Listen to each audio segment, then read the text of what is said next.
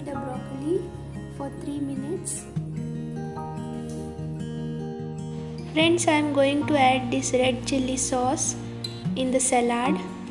The recipe for this red chili sauce I have uploaded.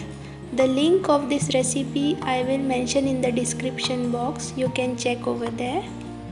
Here I have taken nearly 2 bowls of boiled broccoli. Now we will add rest of the ingredients.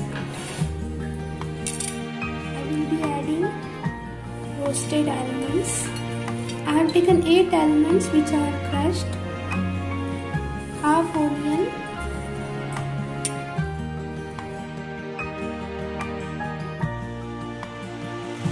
I am going to add this paste, chili paste.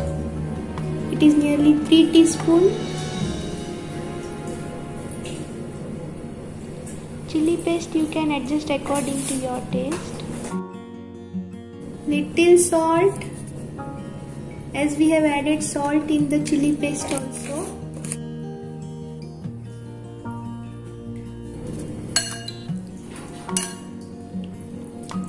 It is a simple salad. I am going to mix it well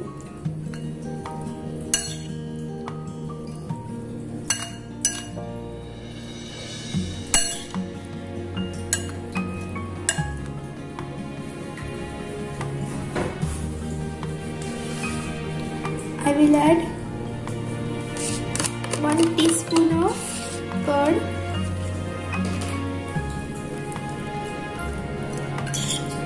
and I will mix it. You can add the chili paste according to your taste. The chili sauce which I have prepared today.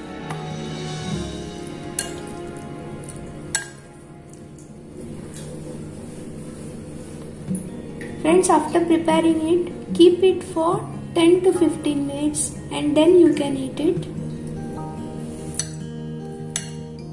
So let's serve. Friends, our broccoli salad is ready. If you like my recipe, please like, share and subscribe to Visava Foods channel. Thank you.